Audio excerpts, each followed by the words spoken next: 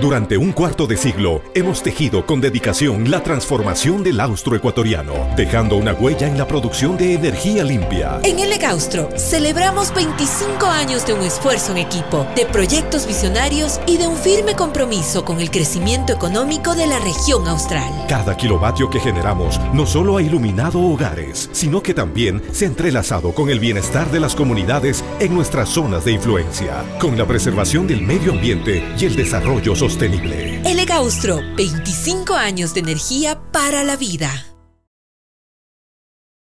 Saludamos al economista Andrés Robalino, director ejecutivo de la Cámara de Industrias, Producción y Empleo.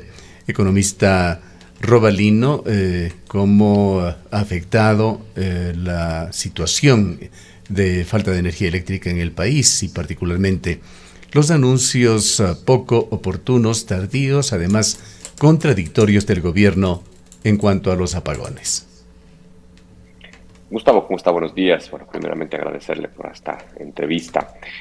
Bueno, realmente como sucede cuando hay estas crisis eléctricas, que no es la, la, primera, ojalá sea las últimas, pero no es la primera, hemos tenido durante varias décadas esta situación que afecta a todos los ciudadanos y obviamente a la producción nacional. Muy preocupados porque el día domingo, como bien usted indica, no hubo una, una anticipación de los cortes, eh, no se sabían obviamente en qué zonas los iban a, iban a suceder.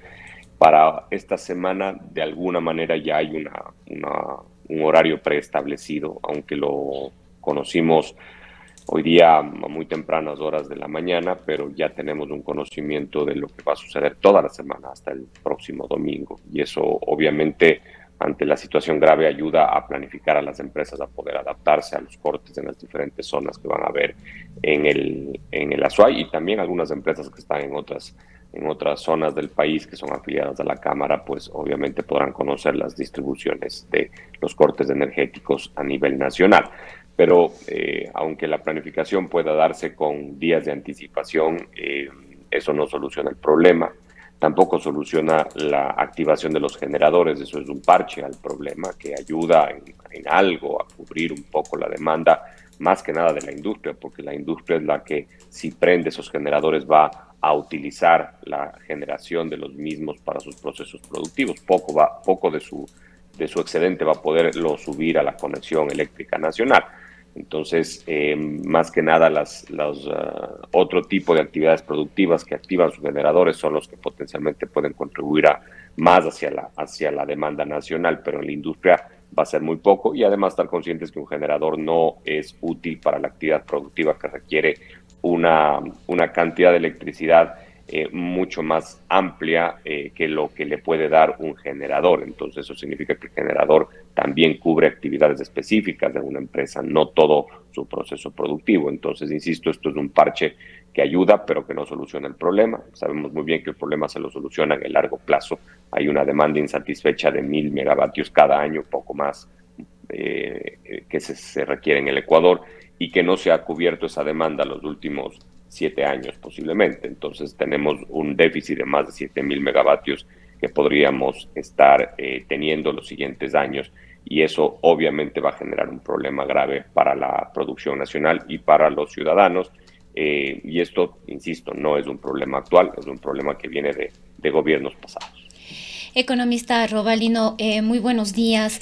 Em, ¿Cómo han analizado ustedes estas acciones que ha venido desarrollando el gobierno? Acabábamos de dar lectura a una información remitida desde la Secretaría de Comunicación diciendo que este gobierno es el que más ha invertido para la generación eléctrica, pero tenemos justamente... Eh, vamos a tener prácticamente cinco horas de apagones en el transcurso de, esta, de esta semana, incluso más que en ocasiones eh, anteriores.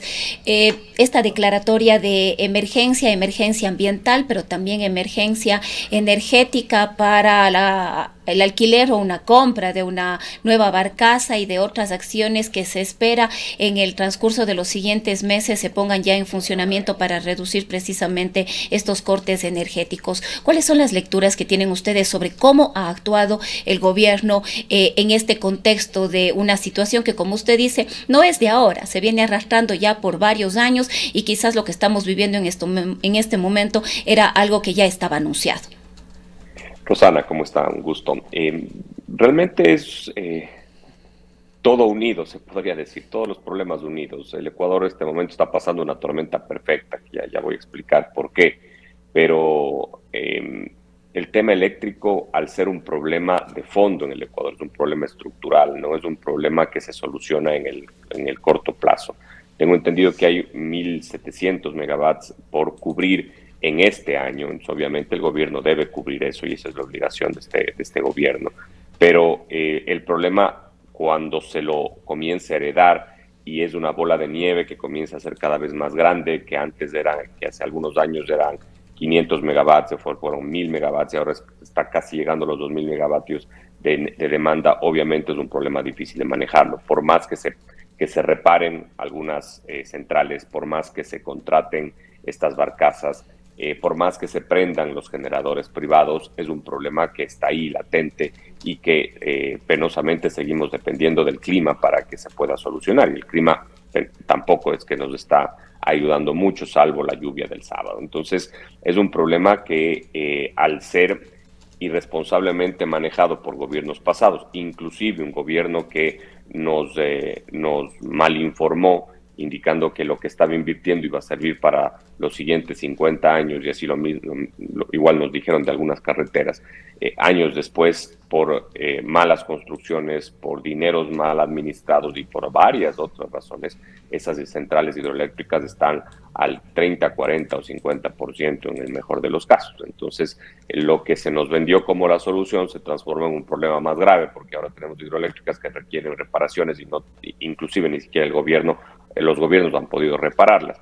Entonces, el problema es más grave de lo que eh, los ecuatorianos o a los ecuatorianos nos han comentado. Y siempre, como sucede en el Ecuador, cuando estamos en el punto más álgido del problema es donde nos damos cuenta de que la situación es realmente dramática o que tiene una solución a largo plazo, como lo sabemos muy bien.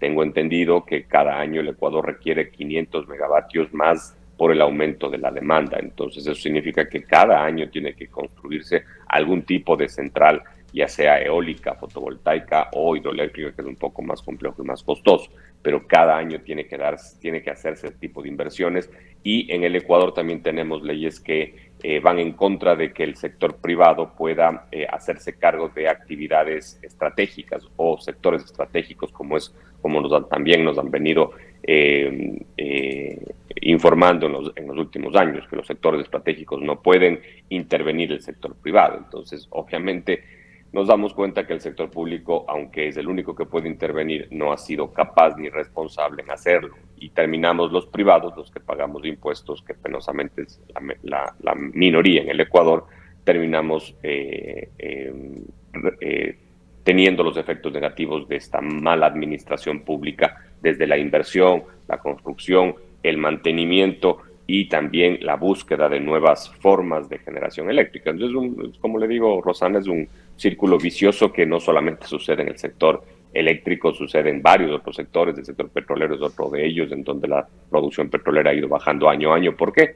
Porque terminan siendo responsables del sector público. Entonces, si es que no cambiamos esta, esta lógica de que el sector público es el, dueño de todo y el que maneja todo, y buscamos al sector privado que puede administrarlo de mejor manera, pues esto va a suceder permanentemente y la solución no la vamos a ver de aquí en mínimo una década. Parte del, del, problema economista robalino, de la confusión que se genera de la desinformación, es el manejo de las, de las cifras. El gobierno viene persistentemente fallando en esto, en las cifras que se entregan por parte de, la ministra del Interior sobre el combate a la delincuencia, es un ejemplo. En eh, el discurso del presidente de la República en el sentido de que se ha superado la crisis de la economía, que la economía se ha estabilizado como justificativo para emitir subsidios eléctricos que costarán unos 200 millones de dólares al país con eh, el no cobro de las facturas de hasta 180 kilovatios hora y los ejemplos de este tipo sobran. El discurso del presidente de la República, si bien podemos entender las urgencias del mandatario de tratar de vender de mejor manera al país para la inversión extranjera, tiene que ser serio y coherente. Hablar de 650 megavatios de aporte de este gobierno al sistema nacional interconectado, hablar de un compromiso de suplir esos 1.450 para llenar esa brecha es muy arriesgado por parte del presidente y lo que le hace es eh, cosechar falta de credibilidad a futuro. Si no se quiere devaluar la palabra gubernamental, la información debe ser clara, objetiva, no se puede sumar en esos rompecabezas que hace el Ministerio de Energía, contrataciones contingentes, energía comprada a Colombia o las barcazas que además de caras son circunstanciales. Es un tema que hay que tomarlo con mayor seriedad.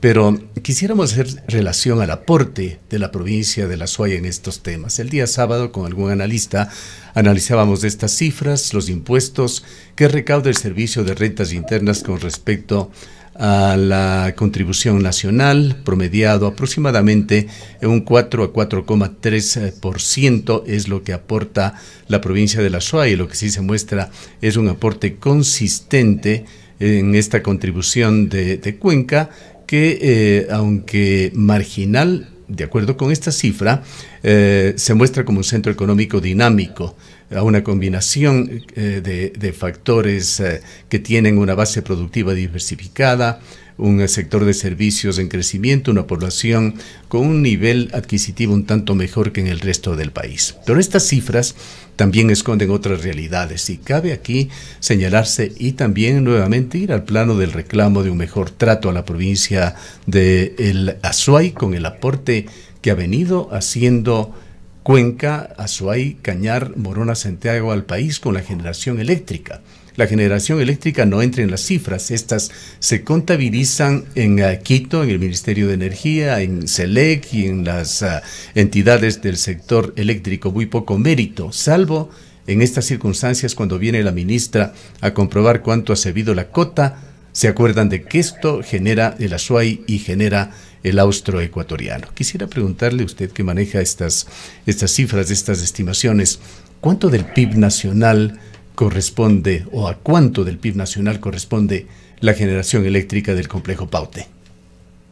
Bueno, es, es difícil llegar al dato, Gustavo. Penosamente el Ecuador eh, comenzó a eliminar mucho los datos provinciales desde hace algunos años y peor los datos cantonales. Hace, antes del gobierno de Rafael Correa se tenía siempre, inclusive se podía calcular fácilmente el PIB, los PIB provinciales eh, que estaba siempre los datos publicados en el Banco Central.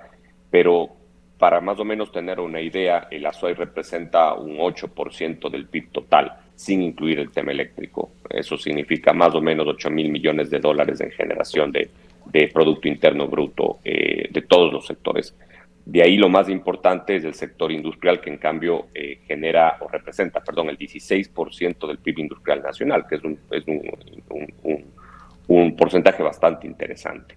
Eh, esos porcentajes significan también impuestos, como usted lo acaba de indicar, y esa es la historia sin fin de decir que la SUAI está aportando con 850, 900 millones de dólares y en el mejor de los casos si nos llega a 200 es, es lo mejor, pero la situación del, del, del, país está penosamente atadas a normas y leyes que eh, responden a una constitución que no eh, va en línea de lo que el país requiere.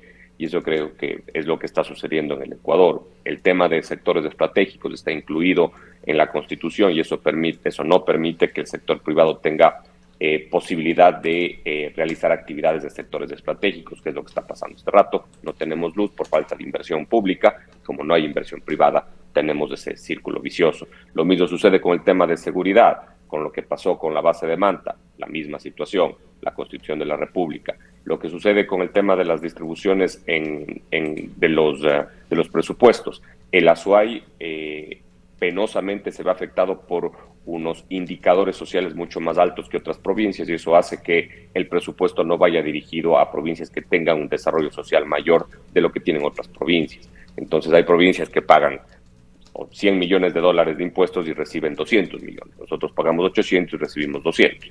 Entonces, ese tipo de normativas son las que vimos que fueron o que, estuvieron aprobadas o que fueron aprobadas durante algunos años anteriores y no se puede hacer nada más que esperar modificarlas para que el presupuesto sea mucho más equilibrado en base a las necesidades. Y aquí lo que se está afectando es que al mejor estudiante, por así poner esas palabras, al que más paga, le devuelven lo menos posible. Entonces, ¿qué se está? Se está premiando la informalidad, porque se está, están enviando presupuestos a, las, a, los, uh, a los lugares que menos pueden contribuir, teniendo poblaciones bastante grandes. Entonces, esa situación es un círculo vicioso y un círculo vicioso para todos los sectores y somos los afectados en el Azuay, en el autoecuatoriano y a nivel nacional con la crisis eléctrica si es que no se cambia la norma primaria del país, que es la constitución, aunque es muy difícil pensar que se pueda convocar a una constituyente para hacerlo, estos problemas van a subsistir permanentemente los siguientes años, sin importar que hayan intereses o que hayan intenciones, más que nada de gobiernos, de poder solucionarlo, porque tienen una norma primaria que está sumamente complicada, es un, es un, candado muy difícil de poder solventarlo y eso hace que tengamos un Consejo de Participación Ciudadana y otras cosas más que, es los, que son las, los grandes problemas del país a nivel estructural. Y entonces ahí es cuando los gobiernos, eh, tratando de eh, demostrar que hacen algo, utilizan cifras en base a diferentes, no sé si llamarlo conveniencias, pero sí utilizan cifras a veces hasta parcializadas. Ejemplos del empleo. Hemos escuchado que el empleo se ha aumentado en el país. No, el empleo no se ha aumentado en el país. Y es fácil eh, utilizar cifras que demuestran lo contrario. Es la cantidad de personas que se, que se afilian al IES. Pero penosamente lo que se ha demostrado es la cantidad de personas que ingresan al mercado laboral. Pero eso no necesariamente es del empleo neto que llega al país. Entonces ha habido más despidos que ingresos. Entonces eso hace que el Ecuador tenga un problema complicado en el tema, en el tema de empleo, pero se nos vende una mitad, una, una verdad parcial. Lo que está sucediendo con el tema de las muertes violentas, de, de esos famosos datos que se están eh, distribuyendo a nivel nacional y que nos, durante más de una década, nos estuvieron mintiendo que estábamos en un país completamente en paz. Y total no era así, sino que estadísticamente le habían ubicado ese dato en otro lado. Y así por el estilo. Pero penosamente, Gustavo, eh, el mayor culpable de que eh, estos, de que los políticos con, eh, con la búsqueda de un posicionamiento político nos mientan o nos den verdades parciales, al final somos los ciudadanos porque terminamos votando por ellos mismos. Recuerde usted cuando dos candidatos se peleaban por quién iba a generar más empleo, uno dijo que que 500 mil, el otro dijo que un millón, pero en el Ecuador no hay cómo generar un millón de, empleos.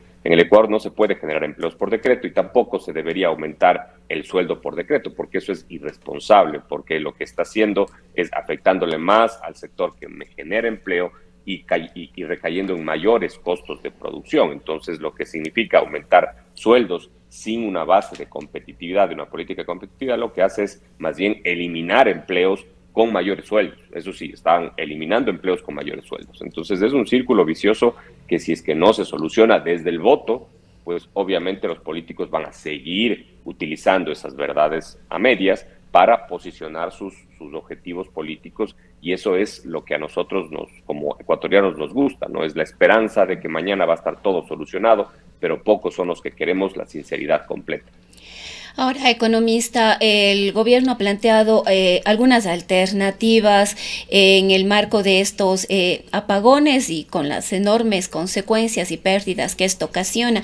Le escuchamos eh, a la presidenta del COE, ahora la ministra del Ambiente, diciendo que se estaba analizando cortes energéticos para el sector industrial esto llegaría a concretarse en caso de ser así, qué efectos podría tener. Y de otro lado, se ha hablado también de compensaciones para el sector eh, productivo, como cubrir los gastos eh, adicionales y al ciudadano como cubrir las tarifas de diciembre, enero y, febrero. ¿Cómo ven ustedes estas eh, acciones que ha anunciado, aunque con el gobierno no se sabe todavía, habrá cambios, no habrá cambios, se tomará la decisión, no se tomará la decisión, pero ¿cómo está en este momento esa situación? A ver, primero hay que reconocer, y vuelvo a insistir, este no es un problema de este gobierno, es sería completamente irresponsable cargarle lo que sucedió, lo que ha sucedido en los últimos 30 años de poca inversión hidroeléctrica en generación eléctrica a un gobierno que está ocho meses. Eh, sería bastante injusto. es un cúmulo de responsabilidades de varios gobiernos, eso hay que estar muy claro. Entonces, en una crisis eh, siempre va a haber los grandes errores que en una crisis se ven muy, muy eh, importantes, porque es difícil anticiparse a lo que pueda suceder.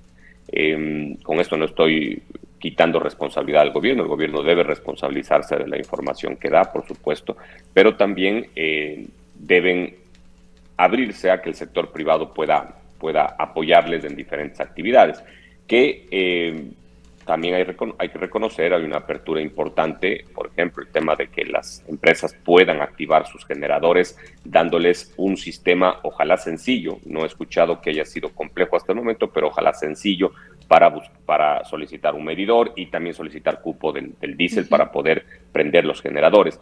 Y no es que se está dando un incentivo, sino que eh, se le está dando un precio eh, no, eh, no muy alto al costo del diésel para que estos generadores puedan prenderse, porque si el costo del diésel era precios que uno va a adquirir en la gasolinera, obviamente iba a ser imposible que los generadores puedan activarse. Entonces, la situación significa mucho más o es mucho más crítica y por lo tanto se requiere un incentivo para prender generadores, de lo cual los generadores obviamente o, este, o esta actividad no va a generar un ingreso eh, extra para las empresas, sino esencialmente, como yo les dije, va a cubrir las necesidades de sus propias industrias y eso es lo que lo que se, le pedía eh, Andrés eh, al sector industrial un aporte de más o menos unos 200 megavatios. Está en capacidad el sector de aportar con aquello Sí, se lo está aportando este momento. Inclusive tengo entendido que hasta un poco más. Eh, hay algunas empresas que tienen generadores, especialmente en los sectores comerciales, que tienen generadores bastante importantes. Eh, en los sectores productivos, eh, como le digo, va más dirigido a la producción, pero sectores comerciales puede darse esa posibilidad. En este momento creo que se está generando un poco más que 200 megawatts al, a nivel nacional y eso es importante porque ayuda, pero no soluciona el problema. Ahora, la situación eh, va a ser de largo, de, mediano plazo. en mediano plazo me refiero a que la crisis energética vamos a tenerla potencialmente hasta diciembre. Acordémonos que el año pasado, recién en, finales de enero, si no estoy mal, perdón, este año, en finales de enero comenzó a llover. Eh, por lo tanto, tenemos una situación, o puede, podemos tener una situación compleja. La crisis en realidad está prevista hasta, enero. Hasta enero Exactamente. son las previsiones de que eh, continuarán los regímenes de lluvia bastante disminuidos. Esto recién comienza, Gustavo y Rosana. Entonces, eh, lo que sí esperamos del gobierno es que este trabajo conjunto, que como usted también, Gustavo, indicó, hay un grupo activo de, eh, del sector productivo y el Ministerio de Electricidad, en donde nos están informando permanentemente de los temas, de los procesos de la información y demás. Seguramente falta fortalecerle a, ese, a esa mesa de trabajo. Yo soy parte de la misma pero eh, es un paso importante para poder estar conectados con el, con el Ministerio de Electricidad. Hay otro grupo, en cambio, que lo lidera la ministra de, de Producción, Sonsoles García, en donde está permanentemente comunicando, pero insisto, aunque exista comunicación, aunque nos informen de los cortes eléctricos, digamos que toda esa organización y esa comunicación está perfecta, eso no elimina los, la pérdida que van a haber, la, la reducción de producción que va a haber durante los siguientes meses. Ya veníamos de seis meses malos, Veníamos de otros últimos seis meses del año pasado que fueron también bastante malos, entonces se esperaba algo de recuperación. Tuvimos un mes de julio y agosto relativamente buenos de comparación con los restos de meses, pero nuevamente esto comienza a, retomar su, su línea de, de, de decrecimiento y, insisto, aunque no puede cargarse la responsabilidad de esta situación completa al gobierno, hay que buscar soluciones, hay que buscar formas en las cuales el sector privado pueda y también la inversión internacional pueda buscar invertir en un sector estratégico tan importante para el país. Economista Rodalino al, fondo del asunto, al, al, inicio y a lo que debe ser el fin de toda esta crisis que estamos ah, sufriendo, eh, ah, hay que señalar que al momento de alguna manera se sataniza el hecho de que Ecuador tenga fundamentalmente eh, fuentes de energía renovables. Las hidroeléctricas son una de las mejores soluciones que existen, pero está el otro factor del clima y está la falta de conciencia también de los ciudadanos del mundo para no continuar contribuyendo al calentamiento global, a la destrucción de la naturaleza y del medio ambiente. Eh, hay la necesidad sin duda de buscar otras fuentes de energía alternativa, pero no podemos olvidar que el ecosistema del páramo en el cual se basa el sistema de generación hidroeléctrica en el país es en donde nacen los ríos, ríos que hacen el paute que va a amasar. Y tenemos que seguir reflexionando y pregonando el mejor cuidado que debemos tener con el, con el páramo. Y aquí entran las problemáticas de la provincia de El Azuay. Podemos entender también, quizá por el cumplimiento de su misión y visión, que la Cámara que usted representa se ve de alguna manera obligada a defender los proyectos eh, mineros. Pero es un momento muy grave para el país, para nuestra provincia, para nuestra ciudad, eh, y es momento también para hacer reflexiones sobre este tema más descalificador sobre el proyecto minero de Quimsacocha no pueden ser los informes de una empresa en la cual todos confiamos en muy buena medida, Etapa EP, empresa pública cuencana que tiene una proyección y un prestigio internacional. Etapa señala que el proyecto Loma Largo Quimsacocha es una amenaza no solo para la contaminación del agua, sino también una amenaza irreversible a la calidad y la cantidad de dos ríos de Cuenca, Tarqui y Yanuncay, que afectarían, este proyecto afectaría de manera permanente.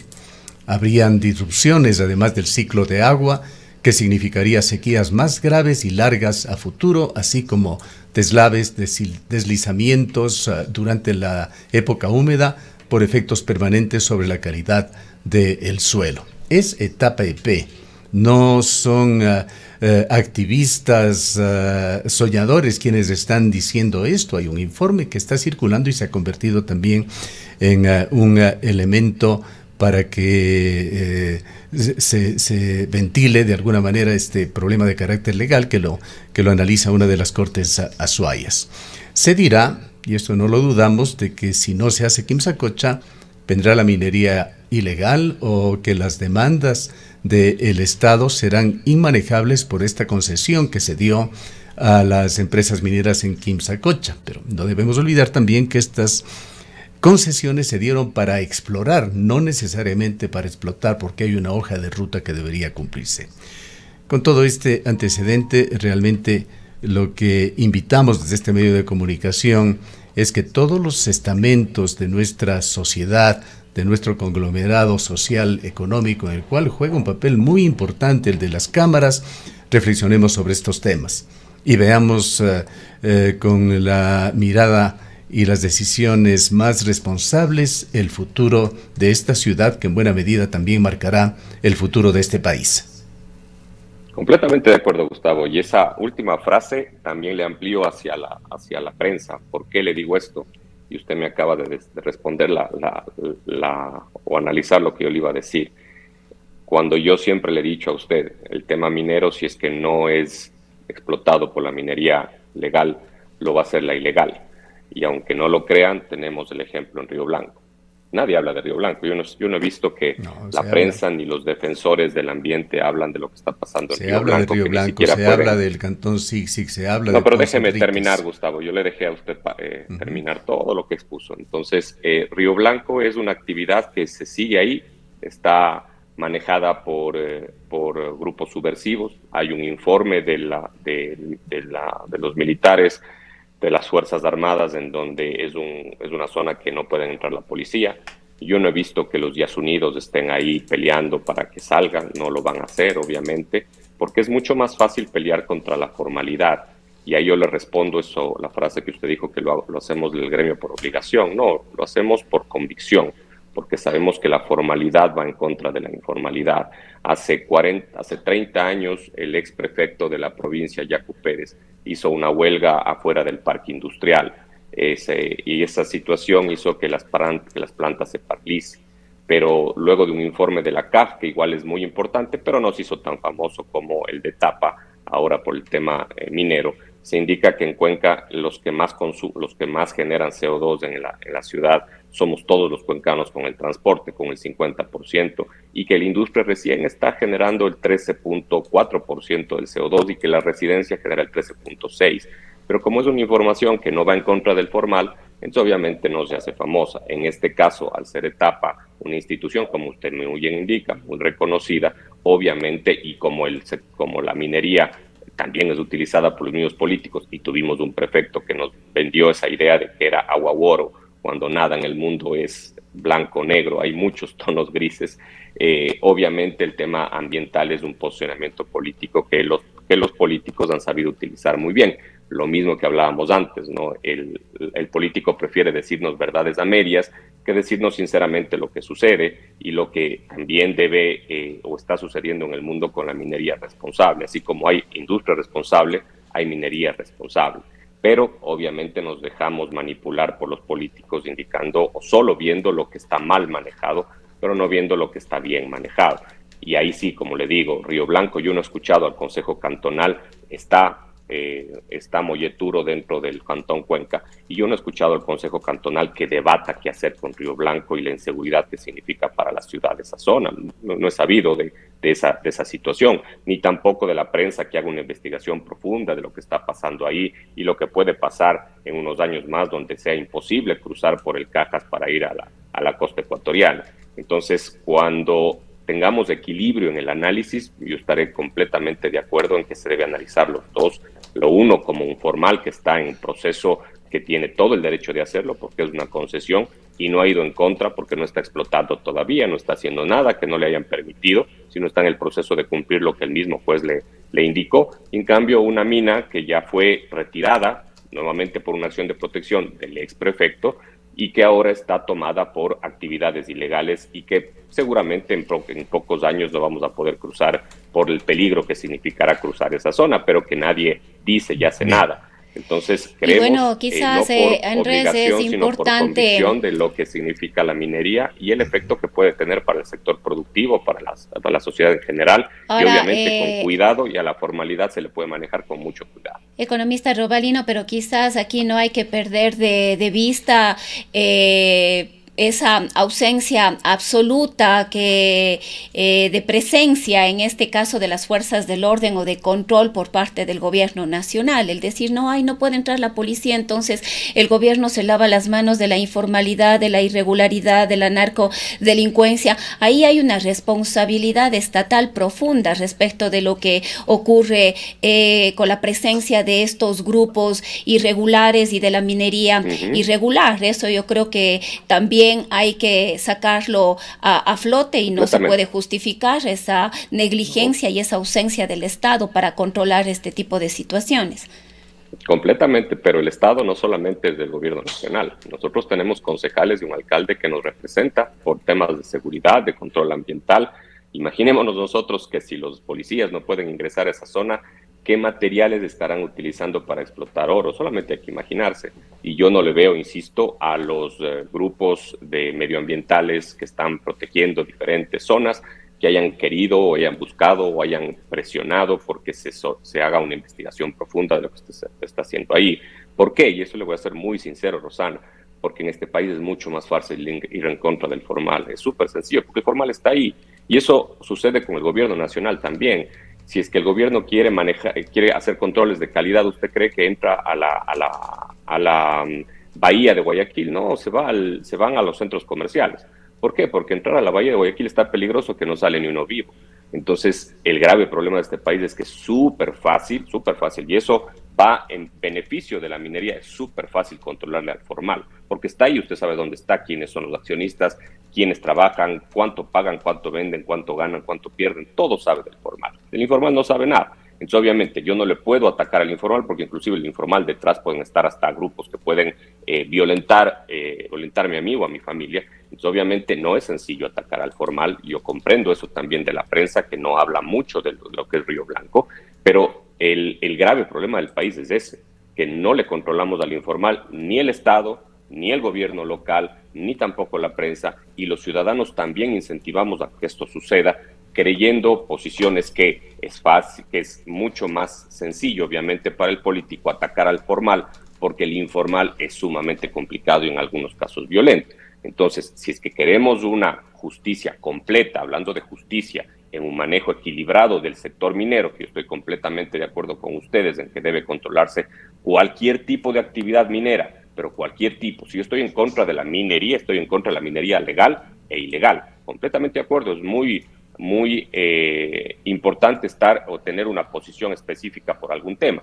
Perfecto, pero entonces debo también hacer investigaciones de la mina informal que hay aquí a 40 minutos. Sí, el tiempo no, no nos da para más, economista Rubarino, le hemos escuchado ampliamente sobre este tema, pero cabe señalar de que hay evidencias ah, que están a la mano, si no lo ha visto usted, con mucho gusto le facilitaremos un link más adelante sobre documentales ampliamente publicados en Internet y ah, también a través de medios de comunicación muy decidores sobre la presencia del activismo cuencano en la protección de, Río Blanco. No es un tema que se lo ha evadido y es, eh, como señala Rosana, condenable la falta de presencia del Estado, inaceptable en Río Blanco, inaceptable en lo que está sucediendo en el cantón Zigzig, inaceptable en Ponce Enríquez a la situación en la que se ha llegado. El eh, Estado, más allá de minería legal o ilegal, tiene que precautelar con eh, enorme responsabilidad los intereses. Eh, Además, quizás, eh, Gustavo, es importante también aclarar que los gobiernos autónomos descentralizados ni los grupos ambientalistas tienen la potestad sobre las fuerzas del el orden, ni tampoco sobre los trabajos y las tareas de inteligencia, es decir, esas son competencias del Estado central. Y, le faltó algo más, tampoco tienen injerencia en el manejo de concesiones mineras, por lo tanto, aunque el informe de etapa pueda ser importante, no tiene ninguna influencia en Pero sí sobre el uso y gestión del suelo. No, en este caso no, porque el, código ambiental es un código orgánico. Por lo tanto, ninguna ordenanza está por encima de un código orgánico. Por lo tanto, el Ministerio de Ambiente es el único que puede dar o quitar algún tipo de concesiones o licencia ambiental. Es decir, de claro, usted lo acaba de decir, tiene sí responsabilidades, pero las responsabilidades son específicas. No nos podemos crear responsabilidades porque una institución tiene reconocimiento como lo tiene TAPA. También hay informes de la Universidad Politécnica Salesiana que indica que la minería durante el proceso minero durante más de, de, 15 años que se ha hecho el proceso de Loma Larga lo ha hecho cumpliendo con todas las normativas. Pero claro, eso como no es un informe que se va en contra de la formalidad, entonces no se ha hecho famoso. En todo caso, el código orgánico es clarísimo. el Ministerio de Ambiente es el único capaz y responsable de dar esos procesos. Etapa puede tomarse como un informe general para, una, para las personas o para la prensa, pero penosamente la ley no indica que debe ser tomado como un punto de, de referencia para el análisis. Bueno, en todo caso, es un juzgado, el de la ciudad de Cuenca, el que pidió a Etapa y al Ministerio del Ambiente supervigilar este tema y dar informes secuenciales. Eh, lo que apreciamos de, esto, economista Robarino, es que estos temas se los ponga en el tapete de discusión, que es justamente lo que estamos apelando, que como sociedad, tras las amargas experiencias de este año en materia de agua, en materia energética, tenemos que hacer como cuencanos, como habitantes de la provincia de la Suárez y del austro ecuatoriano. Eh, cerramos el tema sin, por el momento, sin eh, dejar de, abrir, como lo haremos, y usted lo conoce, eh, a todos los sectores la posibilidad de discutir y debatir estos temas que se vuelven cruciales para el futuro, ya no solamente de los habitantes de Cuenca, sino de las futuras generaciones. Tenemos que meditar, reflexionar y tomar decisiones para que se precautele el futuro de esta ciudad y del país. Gracias, economista Robalino, por habernos acompañado. Igual un gusto, Rosana y Gustavo. El economista Andrés Robalino es eh, el director ejecutivo de la Cámara de Industrias, Producción y Empleo en la provincia de La Suay. Son las 8 horas con 22 minutos.